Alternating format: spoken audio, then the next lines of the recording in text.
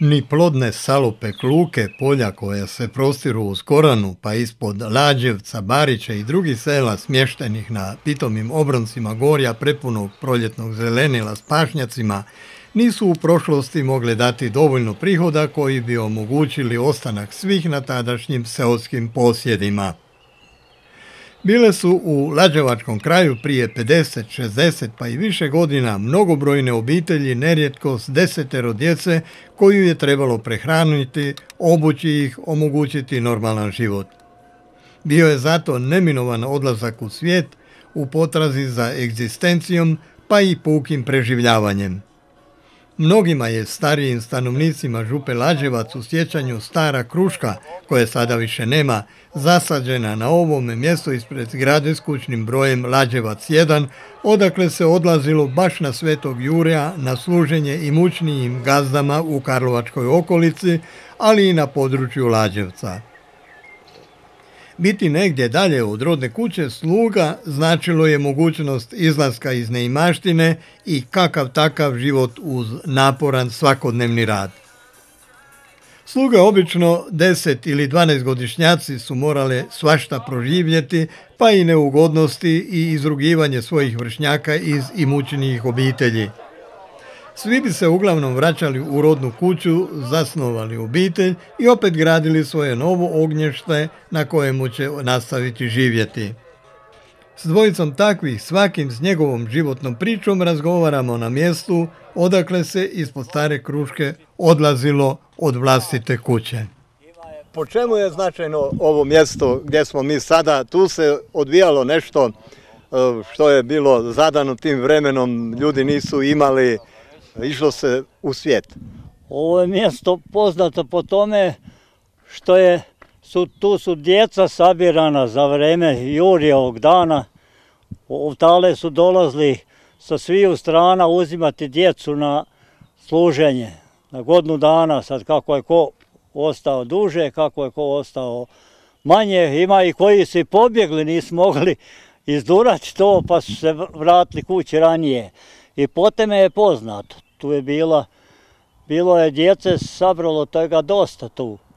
I onda se, onda su je ovaj, ko je, za koga se opredelio, ko se kome dopa dijete od otih koji su dolazili da uzimaju te slugane, oni su ju onda odvodili ko kuda na koje strane. Najviše je išlo Karlovac, Mekušje, Švarča i ispred Karlovca, Barilović, Tušilović, da te strane se odlazlo. I potem je poznato, i što je tako je vreme bilo onda. Onda je tako vreme bilo, drugčije nije bilo. Ja sam isto išao, služio sam godinu dana za tisuću dinara, što li je bilo onda, tisuću dinara i dobio sam dva odjelca, dvije košulje i dva kaputića i dvoje lače, zato sam služio godinu dana tamo. I to je bilo poslije drugog svjetskog to Je bilo, to je bilo i, to je bilo i 45. po mome mišljenju, 45. je to bilo, poslije rata bilo, da. U to vrijeme je bilo. Onda i tako smo se moralo i potem smo poznati da je bilo siromaštvo tu i, i, i bilo je, tako je bilo vreme. Drugčije nismo mogli nego tako. A recite, je li ste, dok ste služili, jel ste išli u školu ili nešto tako? Nisam, nisam išao u školu. Kako u školu? Ima sam ja krave pred sebom i svinje i kuću, zida je gazda kuću te godine, onda sam ja nosio malte. U kojem mjestu ste bili? U Ladvenjaku, ispred Karlovca. U Ladvenjaku sam bio. A bio je još jedan moj pol bratić, on je bio isto u Ladvenjaku i bio je još jedan Potnar Slavo jedan je bio i Dane Smolić bio je i on je bio ovdje kako se ide gore za, za Vukmaniću na bregu neme. I tu bilo je nas četiri, pet tamo. Recite, je li u službu su išla i ženska djeca? Jesu, jesu i ženska djeca išla. Kako, kako je kome trebalo od tiju gazda, kako je kome trebalo. Bilo žensko, bilo muško, svako je sebi tražio po svom izboru. I tako su djeca odlazila. Meni je poznato da iz ovog kraja su neki, nakon što su služili, ali kod ti koji su služili, e, da su ih čak školovali, da su ih pustili da idu u školu. E, ja zato ne znam, ja se tega ne sjećam. U, u mome teme vremenu da je ko išao u školu nije išao ko je došao u službu. Taj je čuva krave i, I ostajao. i ostajao i nije išao u, u školu. Tega se ja sjećam. Od moji od tih koji smo bili u to vreme tamo. Koliko je trajao vaš radni dan? Ha, radni dan je trajao, ustajao sam se dobro, nisam se preustaja rano, na primjer. Ustajao sam se 5-6 sati, onda sam išao najprije u štalu, pa sam onda poslije doručak, onda sam išao, poslije tega išao sam svinje, svinje su išle, tamo, tamo su u to vrijeme išle su svinje na pašu, na primjer, nije to bilo kao sade. Išlo se na pašu, onda sa svinjama budi tamo i tako dođeš kući, onda opet nešto radiš između tega i tako poslije podne opet ideš na pašu i, i to je tako vrijeme bilo onda. Koga ste ostavili doma kad ste išli u službu? Ostavio sam tatu i mamu i brata i dvije sestre. I ta jedna sestra moja starija, to je umrla sad prije godinu dana, ona me je došla posjećivati jedno tri, četiri puta. Ona je dolazila meni u posjetu, ali nije bilo ovega mosta, sada je tu kod Karana. Bio je drveni. Nije bio ni drveni, nije bilo nikega, nego smo preko onega benta smo prelazili. Ovaj bent kod one kuće više Karana sade, onda se je prelazilo preko Blenca na slapu, tu smo prelazili tamo. I tamo još sam na, na, taj, na tu Jurjevu sam, još sam čuvao krave poslije podne. I plaka i gleda amo prema, prema našem kraju, da. I tako se to od- odvijalo sve. Samo eto, bio sam dobar, bio sam čuveni i vuk se me želja i danas me vuče želja za tamo. Tu sam i postigao ovaj znanje i poštivanje kuće i, i svega ovaj, na primjer, što je, što je trebalo. I kad ste se vratili, na što ste se vratili, što ste doma zatekli, jel ste imali više ili manje? Imalo, se isto. Nije to ne, nisam ja nešto tu zaradio, nego eto što sam se malo, sam došao do, do, do, do, do poštovanja tega kuće i, i, i svega. To sam tako je bilo. A u to vaše vrijeme od čega ste ovdje živjeli? Ovdje nije bilo ovih asfalta, nije bilo ni vode. Nije bilo ničega, nije bilo ni ovih kuća, ni ovega doma, nije bilo ovdje ništa, nije bilo, to je sve poslije delano. Ništa nije bila, bila je tu uska jedna cesta i ovdje je bilo isto, nije bilo, ma nije bilo ništa ovega, bilo je sve bilo drvene kućice i to je tako bilo. Sad je to grad prema, prema onda, kad smo mi bili mladi, kad je to bilo, samo sam, bio sam dobar, mislim, bio sam dobar kod tega gazde, on je, on se zvao Milčić Marko, ima je br- brata ovaj Ivića, on je onda radio u, u, kao sada je recimo u općini, županiji. Joža je bio brat njegov, on se je priženio na Turan, na Turnu se je priženio ova, ova da- da kako se skreće ko ovoj tvornici, što je bila u onu kuću Joža Milic, on se je priženio onda i to znadem, znadem kako je bilo ovaj, znam konju i danas znadem, konjima ime, znadem kravama ime. zvali? Bio je Pram i Miško. I Miško, bila je, e, krave su bile Perava, Jelenka i Čučka. To, to su te tri krave, jel to i danas znadem. I vukla me je želja cijelega života, ali nisam nikada išao tamo. A kad ste se vratili ovdje, jel ste, se, s čim ste se onda bavili? A s čim sam- Oženili se i... Nisam se oženio, nego sam ja onda još te sam ja bio, bio sam ja poslije, odborni su bili to onda. Pa sam onda bio sam četiri godine u odboru kao kurir, što danas poštar zove. Nosio sam pozivi za ovaj dom što se je gradio. Sve sam kuće sto puta obišao.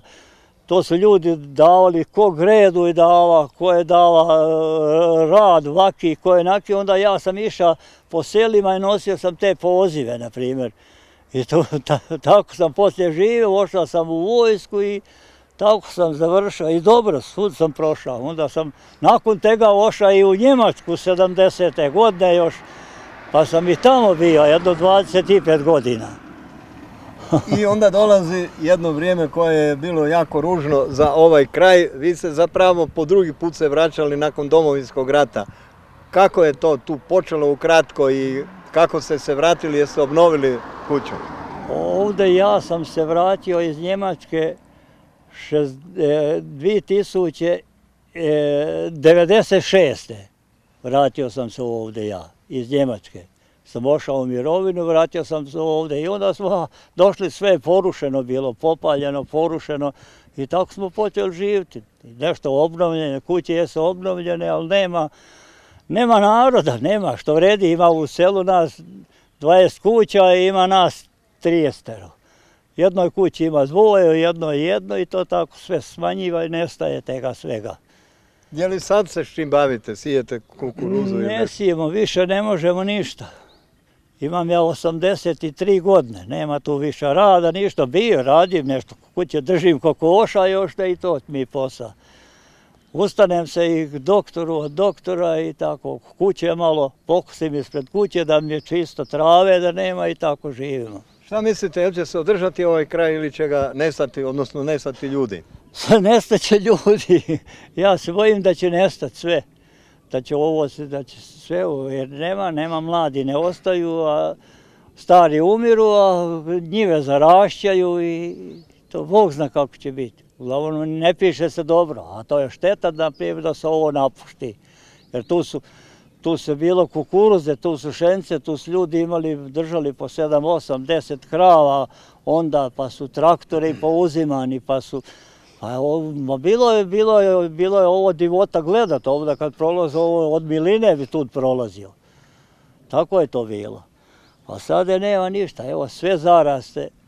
Što možemo, mi stari pomrišmo, a mladi Ošli smo kuda, imam dva sina, oni su u Zagrebu, tamo obudos kod, kod Dugog sela, žive tamo i, i kad ja umrem kuća se zatvara i gotovo. Sad hoće li ko kad doći k njoj, neće li obići malo i Bog zna, ne znamo, to ne moramo vidjeti niti reći kako će biti, što će biti. Neizvjesna budućnost. Sigura stvar, tako je, da. Ne, ne, čovjek zamisliti kako će biti, samo šteta je da se ovo zapušti. To, to, to, to života bilo, to, to, da ima ovaca tu tisuća da, da, da se radi, da pasu one bilo bi čišće i nešto korist bi neka bila, neko bi imao korist od nečega. Pa bi, ovako nema se ništa, sve zaraste šumu, postaje šuma, je da to raste šuma pravo, to bilo dobro ali raste to granje i kupina i ono što ne, raste sve ono što ne treba, što nije za ništa. I što možemo, tako je, vidite. I... Šimi Hrvojević u Kukmaču iz Dubrave sela odlazak od kuće, sluganstvo ostalo je u ružnoj uspomeni kao jedno teško životno razdoblje. Danas je to tek sjećanje koje ne blijedi, ali i poruka kako se samo ustrajnim radom može doći na pravi životni put i uspjeti. Vi ste vezani uz ovu priču da se odavle išlo u službu u svijet, pa evo vratite nas malo u to vrijeme kada ste se vi odlučili ili vjerojatno su roditelji odlučili treba u svijet. Pa čujte, mene je malo isto sada e, kad me, ta, kad me posjeti se, kad se sam na to posjetim, e, meni je jako vrlo teško u razgovoru ovoga gospodina Jure. Sve to što je bilo na Jurjevu i što se događalo ovdje u našom Lađevcu, za nas koji smo bili sirotinja i koji smo odlazili u svijet, u službu, bilo je jako teško i žalosno. A ja sam bio taj e, među tim među tom djecom u kojoj sam isto odlazio na službu i u svojoj mladosti i djetinstvu, neđe mojih 10 godina, 11, ja sam već morao otići iz svojega sela, jer e, u selu nije bilo, nije bilo života, bilo nas je puno djece, majka mi je umrla, sam bio od 5 godina i tako. Kad se spomene Jurjevo, meni je jako bilo teško, uvijek jer ja sam prošao to sve ja sam išao isto, najprije sam išao na Turanj u službu, blizu Karlovca.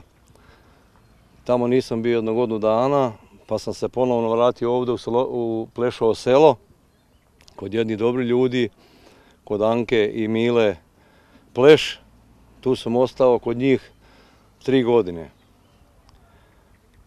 I sve to kad se malo mi prođe kroz glavu kao ja sam sad odrastao čovjek i sve kad se toga sjetim, ovoga, znate da svaki čovjek ima emocije i da je ovoga to, da je to, ne znam, jako tragično bilo onda za nas, ali nije bilo drugog izlaza.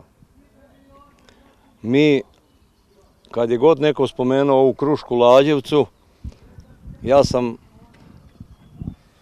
po nekim pričama starih ljudi, ja sad možda ovo što pričam, ne mogu ja to točno definirati da je to bilo tako, ali negdje u mojem sjećanju, mi smo bježali u šumu, da nas ne bi taj dan na Jurijevo odveli u Lađevac i da ne bi promijenili gazdu. Jer kad si bio par godina kod jednoga gazde, ipak je to bilo lijepo, naučio si se i tako dalje i tako dalje. Roditelji kao roditelji, nije niko mario, moj otac, moj otac je bio siromak, mama je umrla, nas je bilo puno djece. Koliko je vas djece bilo? Bilo nas je deset, desetero djece nas je bilo. I život je bio, evo kao što je gospodin Juris pričao, život je bio težak ovdje u našem kraju Lađevcu, jer ovoga, onaj ko je morao ići u službu morao je, onaj ko nije morao, taj je ostao doma kod svoje kuće i to je bilo naj, najljepše za djecu. Ali uz ovo, kad ste, dakle, kad su vas predavali zapravo da idete u službu, je li ovdje bilo kakvo narodno veselje da se prodavalo kao danas licitari ili bilo gvirci ili svečanost posebno u crkvi, jel se toga sjećate recimo na taj dan na, na Svetog Jurija? Pa čujte, sad ne mogu reći da se ja točno to sjećam, ja sam bio dijete tada, ali je bilo, za Jurjevo je uvijek bilo kod nas su bili običaj Jurjeva da se na taj dan, današnji dan 23. četvrti, da je bio zbor, da je bilo okupljanje ljudi u malo većom broju nego što je sada, jer bilo je dosta ljudi. I bili su običaji kod nas, e, e, puno, naš kraj Lađevac ima e, svoju, svoju baštinu s kojom smo se mi susretali, recimo, budete poslije vidjeli, budu nam prikazali, bude vam ispričali ovi naši ljudi koji to više znadu nego ja, ali nije bilo, nije bilo nekakvih prodavanja, koliko se ja sjećam, a to može potvrditi i Čića Jure. to? Mm, ne, ne mogu vam to baš ovo da mogu reći da je to nešto ali je zbor bio kao zbor, bio je zbor Jurjevo, se znalo kad je u Lađevcu Jurjevo da je ovoga, da je to ono bilo puno ljudi i da je bio taj događaj, da je upravo to što je bila ta prodaja djece, što su tu dolazili iz svih e, općina, iz svih nekakvih gradova tražiti recimo tu djecu. Tu smo mi bili, onda su oni birali, onda recimo ja znam, ako je bilo desetero djece, kako kaže Čićure, onda su oni izabrali koji je bio malo jači, taj je išao na radove, na livade, na polja, oranje, tako dalje. Njega su odmah izabrali onda roditelji nisu, moj osobno otac nije nikakvu naknadu dobivao za mene što sam ja služio, a nikomu to nije ni, ni, ni mogao ni dati. Dosta je bilo da sam imao da sam imao neku robu, da su mi kupili, da su me školovali. Mene su ovi ljudi koji, koji sam ja bio, ovi pleši, oni su mene školovali, ja sam išao ovdje u Lađevcu u školu i oni su mene školovali do osam razreda i tako da sam ja se opet nekako nekakav način izvukao iz te sirotinje. Tom cijelom kraju što je bilo glavni izvor prihoda ljudima? Pa čujte, evo čuli ste od, od, Čića Jure, ja ga zovem tako iz Milja Čića Jure, ovoga, pa kod nas je bila poljoprivreda prodaja, ne znam, oranje, kopanje, blago i tako najviše. Nikakva drugi izvora nije bilo da se moglo negdje nekakve novce zaraditi tako. Išli su naši ljudi na košnju negdje, koliko se ja sjećam Čićure, išlo se na košnju, kad je bila sezona, onda su išli negdje u Jasku dole, tako da su, to je bilo jedini izvor nekakve zarade. Kad se vi vraćate i rekli ste osmo, osmoljetku ste završili, ili ste išli dalje u zanat ili nešto, ili vratili ste se doma, jel, na grunt? Ne, ne, nije bilo povratka. Doma nije bilo povratka. Nije bilo moguće vratiti se doma. Još uvijek je bila situacija jako loša. Ja posle osmoljetke sam ja otišao već u, ja sam već otišao u neku školu. Išao sam u građevinsku školu u Bihać, gore kao išli smo neke kurseve za zidare, tesare. To je negdje bilo 69. 70. godine, 68. 9. Već sam ja tada već sve planirao nekakav život i ja sam ubrzo otišao. Tako da se ja nisam imao ni volju, niti imao bilo kakve šanse povratak na selo, jer na selu je bilo strašno, mislim uvijek je još uvijek, te su sve trajalo do nekih 75. 76. Do 75. već sam se ja oženio, 75. i tako da ovoga, ono, nije bilo za povratak. Ja sam već težio, otišao sam u Zagreb, trbuhom za kruhom. I e, sad, današnje vrijeme, povratak nakon domovinskog rata, je li ste vi možda, jel znate gdje vam je broj kućni, gdje ste, odakle ste otišli u svijet? Je li ste kada došli na to mjesto? Pa jesam, jesam. Ja volim ovaj naš kraj, volim Iz Lađe. kojega ste mjesta, gdje ste Iz rođeni? Dubrave. Dubrave 104. Ovo je malo dalje 2 km 3 o- iz Lađevca. Je, ja sam se vratio, mi smo se, bez obzira što je sve kod nas porušeno bilo, spaljeno, mi smo opet svojim zalaganjem, svojim e, trudom, ja sam obnovio tu nešto od svoga imanja, od moga, moji su roditelji pomrli i svi ti moji e, Hrvojevići koji su bili na mom Kokmačevom brdu, manje više jedini sam ja i moja braća mlađi koji su od mene, oni žive u Karlovcu, ovoga, mi smo se vratili, to smo malo uspjeli nešto malo obnoviti tako da se imamo, da znamo di smo se rodili i tako. I ono me ovako, osobno me malo kopa, e, kakav je, jel su roditelji, evo to ćemo i vas pitati, jel su roditelji ipak patili za tim što su vas morali dati ono jer nije bilo? Čujte, hvala Bogu da su patili. Moj, svaki roditelj pati za svojim djetetom. Tako su i moji patili za menom, ali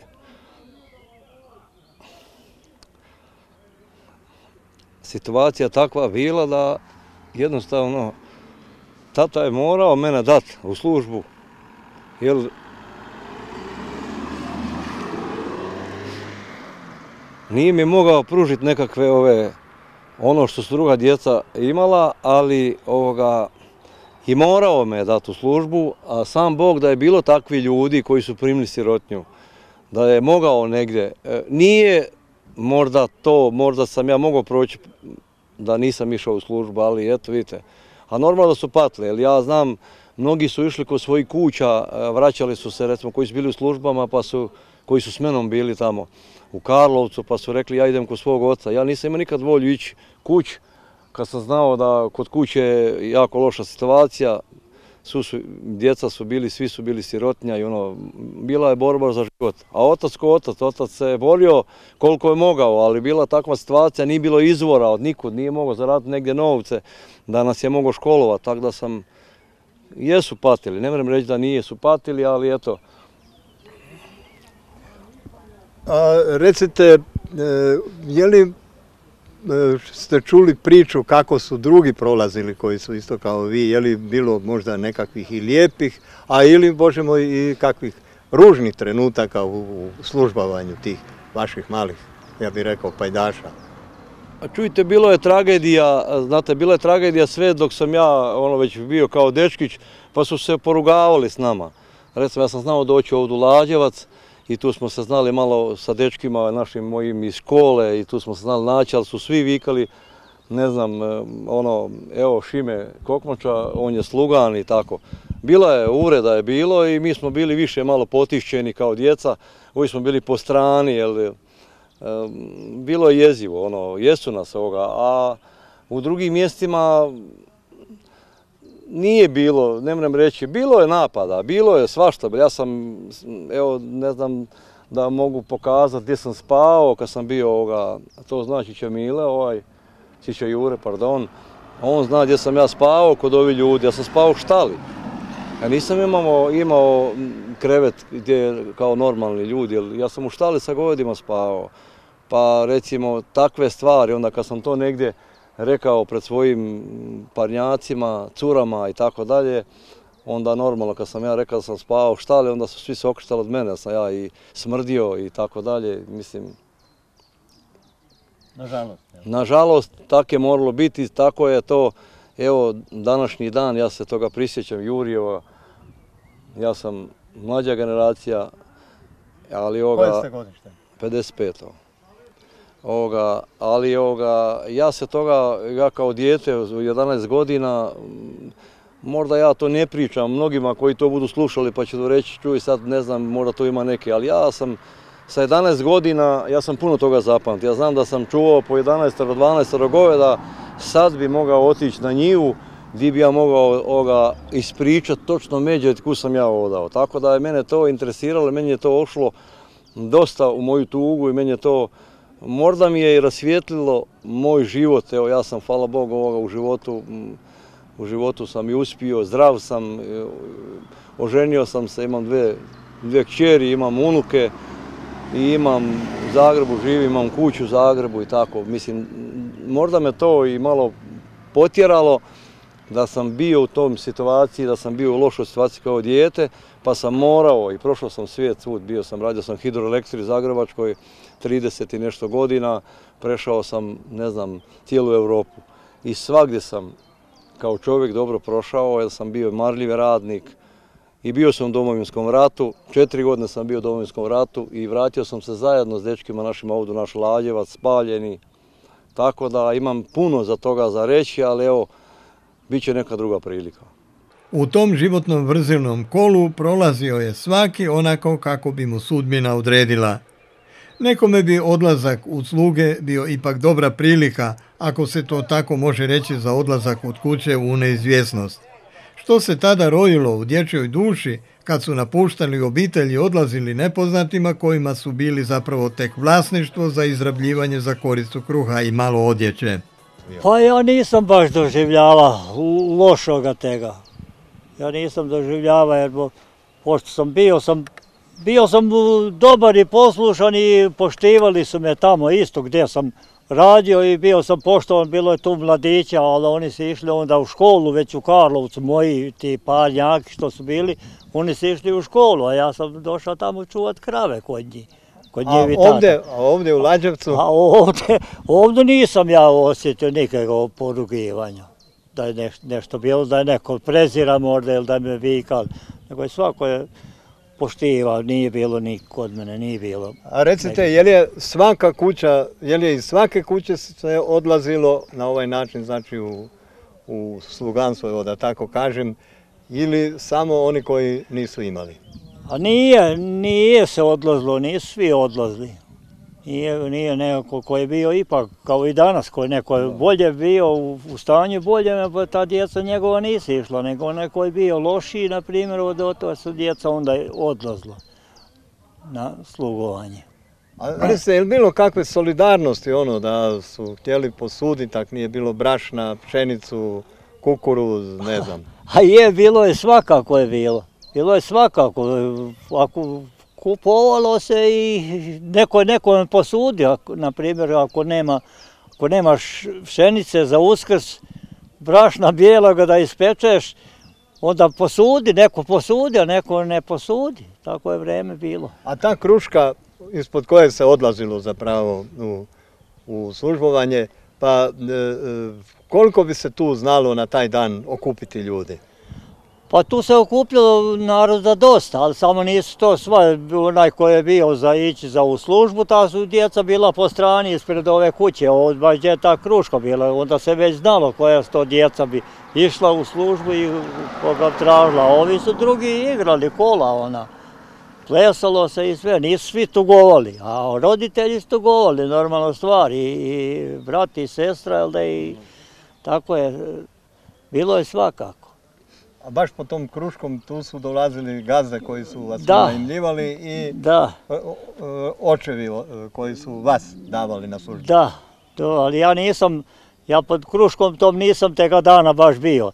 Jer pošto je taj gazda je došao je za mene, ovaj, pošto je bilo poznanstvo, to je bilo, e, s tim gazdom mojim ovdje su bili prijatelji, pa su oni znali da sam ja kao dobro dijete, da bi bio, pa je onda on došao još, na večer je došao još prije Jurjeve, prvi dan, i onda e, već sam ja, u, u- pre- dogovorili smo se kao naveče i onda ujutro smo već otišli kad je tu, djeca su ostala tu, neko je ko je kanio još ići, ko je išao.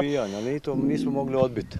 Nismo mogli ovoga, ako je, ako je roditelj, ako je m, tata moj mene doveo ovdje i rekao je da, čuj, ja ne mrem ga, mislim, meni bilo povratka e, kući. Taj ko je već po mene došao, on je mene izabrao i sad, ili ja idem ili ne idem, nema kuć.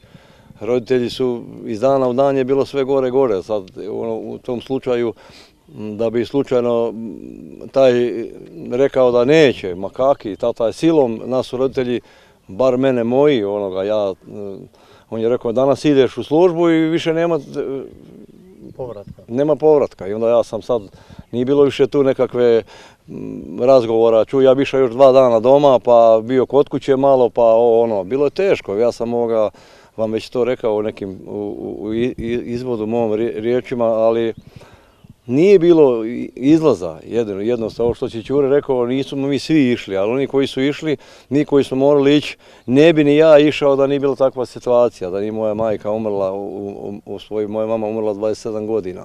Nas je bilo tada četvoro djece, ja i još moje tri sestre. Normalno curice su se nekako snašle, baka je bila živa i tako dalje, ali ja sam bio muški i mene su svi na- nagoravali ono, u selo, čuvaj goveda cijeli dan pa ne znam, dobi jednu jabku ili tako dalje. Tako da je meni kod tih ljudi kad sam ja već prihvatio tu službu, znao sam da imam lijepo hranu, a ono što sam morao raditi, radilo se od sunca, od jutra u 6 sati pa navečer dok nije, ne znam, išao spavat. Uvijek nekih posla je bilo koje smo morali obrađivati. Ja sam radio sve poslove. Ja sam tu kod ovih ljudi u Plešnom selu radio sve poslove. Ja sam i, i kosio i, i vozio sjeno, čuvao goveda po, da- po normalno. Sve, sve poslove kao odrasli čovjek koji sam imao onda recimo 12 godina. Sad kad bi ja to svom unuku ispričao koji sad ima toliko godina, pa da mu rečem čuj deba bi s dedom ići neku travu kupiti, ima bi to sve bilo teško, ali ja sam to sve morao raditi. Životni put je u prošlosti u svećeničku službu odveo čak 14 stanovnika Lađevačke župe. U susluženju na misi na blagdan Svetog Jurija mučenika bila su dvojica s dugim svećeničkim stažom. Ja sam sada županik u Drežni gradu kod e, Plitvica, kod općina Rakovica. A inače ste mladu misu služili gdje? E, ovdje u Lađevcu, u ovoj crkvi, e, prvi kolovo za 1976. Pa upišite malo to vrijeme, vrijeme, to je bilo vrijeme mnogo ljudi, a, Da. malo više života. U to vrijeme je ovdje bilo, tko zna, četiri puta više ljudi nego što ih sada ima ili pet. E, ovaj, da, e, jako su se ljudi odavdje od, e, odselili, odnosno i prije domovinskog rata su se već selili jer ovdje nije bilo zaraditi, nego su ljudi odlazili svuda po Hrvatskoj, osobito Zagreb. To vaše mladomisništvo, što još karakterizira to vrijeme je ipak imalo više svećenika nego i recimo danas ima. Uglavnom po tim župama fali svima svećenika. Sada manjka svećenika, točno. U to vrijeme nas je bilo, moglo se reći dovoljno, ali isto moglo je biti više, trebalo je i više. A ono što zovemo živa crkva, ta, jeli? dakle vjernici u kojoj mjeri sada prakticiraju, idu u crkvu više, sada je li to prije bilo, bez obzira na što je sada manji broj? A to je ovisno o krajevima, o pojedinim krajevima. Ja mislim da ovdje su išli jednako i prije i sada. Da. A što se tiče tih vaših 40 godina misništva, što, ste, što vam je taj period, to je veliki dio života zapravo. Što je vama ovako malo to sažmite, pripričajte. Što je vama donio kao svećeniku? Što ste vi dali svojim vjernicima? A to bi trebalo njih pitati, a ja sam se trudio.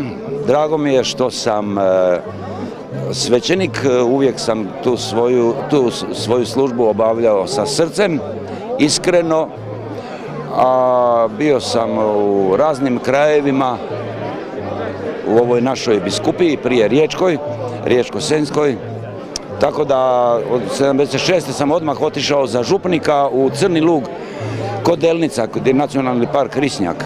Tamo sam bio dvije i pol godine, onda sam išao u JNA u Sarajevo, jer nisam to prije svećeništva završio jer sam bio dva puta privremeno nesposoban. Onda nakon toga sam bio 12 godina u Oštarijama kod Ogulina, pa 9 godina u Viškovu kod Rijeke i sada ovdje je već 15 godina ide. Da. I još malo oko tog našeg, zapravo te bijele kuge naše, demografska pustoš, cijela Hrvatska, a ovi krajevi posebno. Da, ovdje je ne samo ta bijela kuga, da nema djece, nego su se ljudi odselili, jer ovdje nema, nažalost, e, ovaj, ljudi nemaju radnih mjesta. Da mm, da ima radnih mjesta, ja sam siguran da bi se puno njih vratilo ovdje, premda su već u Zagrebu ili ne znam gdje se situirali, ali puno njih bi se rado vratilo ovdje.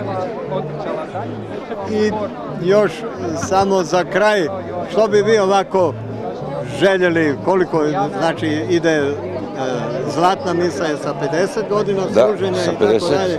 Dakle, kako su vaša ono očekivanja i u tom vjeroučiteljskom jel, poslu, smislu i ono život, kakve su vaše nekakve ono predviđanja, prognoze, hoće nam biti bolje ili lošije?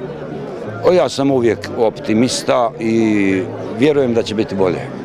Premda ima razno raznih e, opasnosti koje, koje vrebaju e, kako na, sigurnost, tako i na ovaj, moral i ovaj, e, kako bi se to reklo, na, ispravno življenje života. Ima bezbroj opasnosti koje vrebaju da se puno toga iskrivi. 35 godina svećenik, kapelan u Slunju, kapelan na Vežici, svećenik u Krišpolju, 21 i pol godinu u Brinju, malo liječenje i sad četvrtu godina na Udbini. U svetištu. Tako je. Recite, tih 35 godina to je ono veliki Lijepi dio broj. života, da. Pa kako bi opisali taj vaš svećenički život u tih 35 godina? Što ste proživjeli, doživjeli, što ste dali drugima kao vjeroučitelj? Pa što se tiče svećeničkog života i rada, koliko sam god mogao dao sam i u gradnji, i u pastoralu, u vjeronauku i svega što jedna župa zahtjeva, već i tako dalje. Posebno mi je ostalo dojam u Brinskom kraju gdje sam bio i dekan u presbiterijskom vijeću i tolike godine u Brinskom kraju. I evo i danas kad sam išao vamo, toliki se ljudi javljaju iz Brinja, nisam zaboravili ovaj, što je danas imendan i godišnjica 35 godina svećenstva.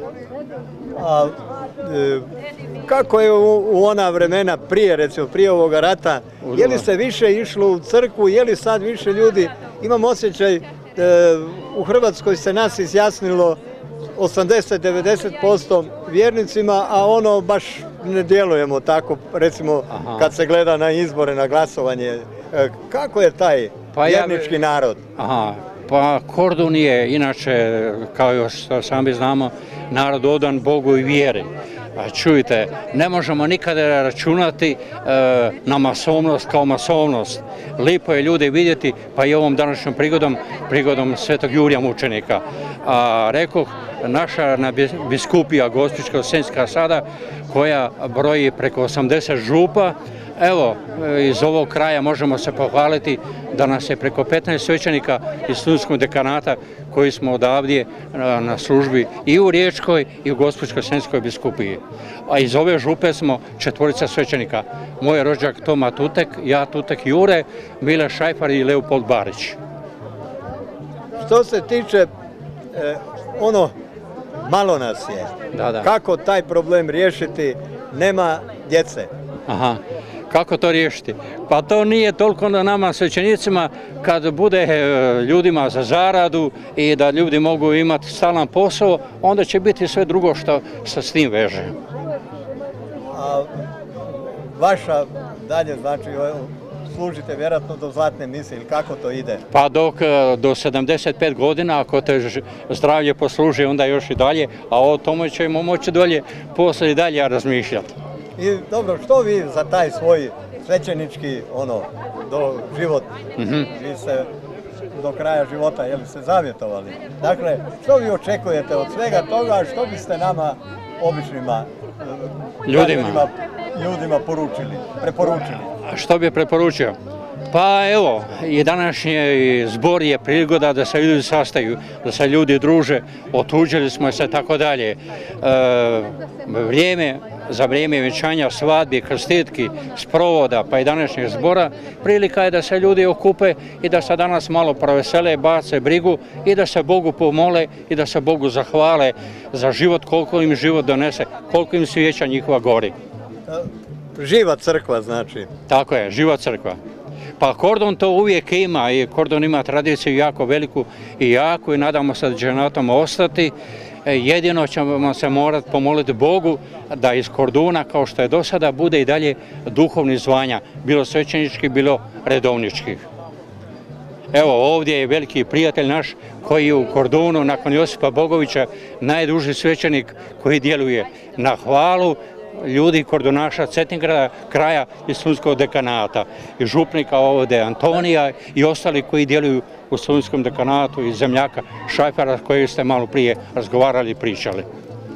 Osim što je Lađevac davao svoje stanovnike koji su se školovali za svećenička zvanja, sada bilježi i njihov dolazak.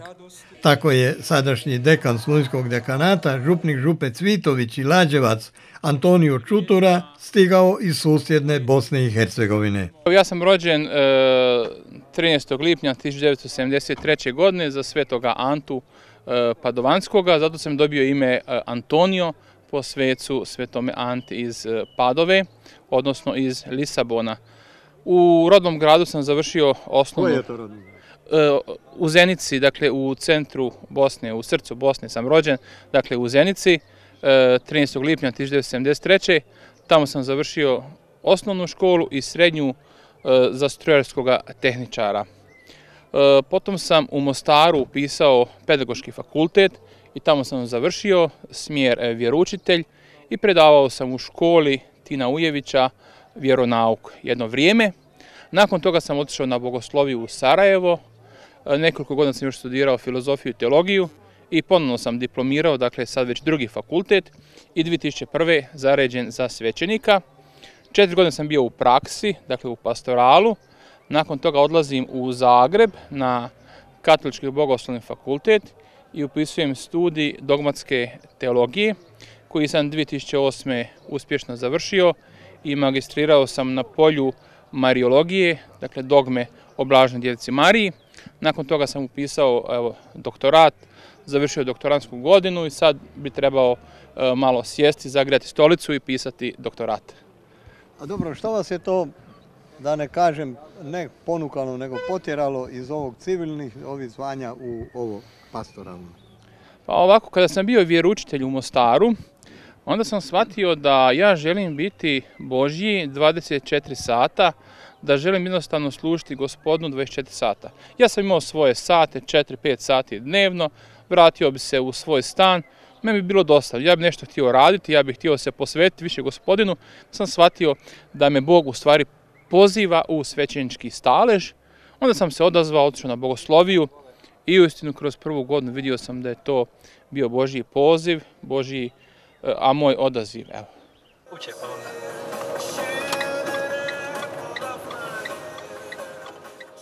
Odlasci su iz Lađevca bili uvijek mnogobrojniji nego osanci i povraci.